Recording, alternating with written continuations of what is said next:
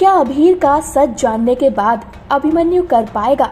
अक्षरा को उसके बेटे से अलग। जी हाँ दोस्तों स्टार प्लस के number one serial Yeh Rishta Kya कहलाता है में आगे दिखाया जाएगा कि किस तरह से अब धीरे धीरे अभीर का सच जो है, वो सबके सामने आने वाला है। जिसके बाद अब अभिमन्यु जो है, अक्षरा को सजा भी देने वाला है। जिस बात का डर अक्षरा को इतने दिनों से लगा हुआ था कि कहीं अभिमन्यु के सामने अबीर का सच न आ जाए तो इलाज के दौरान ये सच भी बहुत जल्द ही अभिमन्यु के सामने आ जाएगा। जिसके बाद अभिमन्यु अक्षरा से उसके बेटे अभीर को अलग करने की कोशिश करेगा। तो चलिए बताते हैं। इसके बाद सीरियल के आने वाले ट्रैक में और क्या क्या लेटेस्ट ट्विस्ट एंड टर्न्स आने वाले हैं।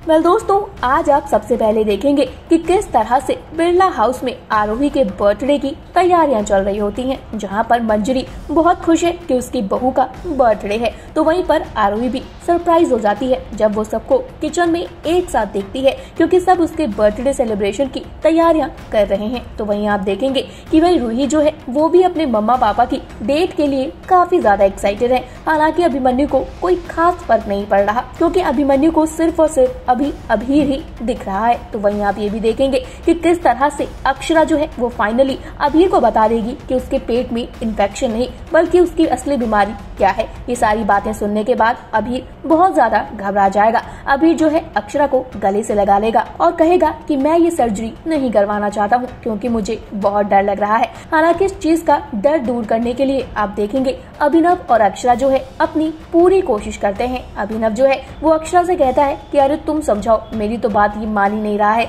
तभी अक्षरा जो है, वो अपने बेटे को बहुत ही प्यार से समझाती है। ये कोई बड़ी बात नहीं है। ऐसे केसेस तो डॉक्टर अभिमन्यु के पास आए दिन आते रहते हैं। तो तुम इसकी टेंशन मत लो। इस पर अभिनव जो है, वो भी कहता है, और तुम्हारे साथ तो बेटा सबका आशीर्वाद है। हम दोनों तुम्हारे साथ है। तुम्हें कुछ नहीं होने देंगे। फिर आप देखेंगे की अभिमन्यु जो है, ये सारी की सारी बातें जो है, वहाँ पर खड़े होके गेट के बाहर सुन रहा होता है। वही आप ये भी देखेंगे की आरोही अपने बर्थडे के लिए बहुत ज़्यादा एक्साइटेड है। वो डेट पर जाने के लिए भी तैयार हो चुकी है। तो वही मंजूरी जो है, आरोही के साथ खड़े होकर अभिमन्यु को फ़ोन करती है। लेकिन अभिमन्यु का फ़ोन जो है, रोहन के पास होता है और रोहन ये जवाब देता है कि भाई डॉक्टर अभिमन्यु ने अपना फ़ोन उठाने से किसी को मना किया है। ये सारी बातें सुनकर मंजरी थोड़ा सा हैरान हो जाती है। वही आरोही की शक्ल भी उतर जाती है, क्योंकि आरोही को भी डर है कि कहीं अक्षरा के आ जाने से फिर से अभिमन्यु उससे दूर न हो जाए। बस सीरियल की कहानी बहुत ही ज़्यादा एक्साइटेड होने वाली है। कल आप लोग कितना ज़्यादा खुश हैं? सीरियल के आने वाले ट्रैक को लेकर कमेंट करके ज़रूर बताइएगा। फ़िलहाल इस वीडियो में इतना ही। टीवी बॉलीवुड से जुड़ी हुई तमाम अपडेट के लिए जल्दी से हमारे चैनल को सब्सक्राइब कर लीजिए। और अगर आप इस वीडियो को हमारे फेसबुक पेज पर देख रहे हैं तो जल्दी से इसे भी फॉलो कर लीजिए।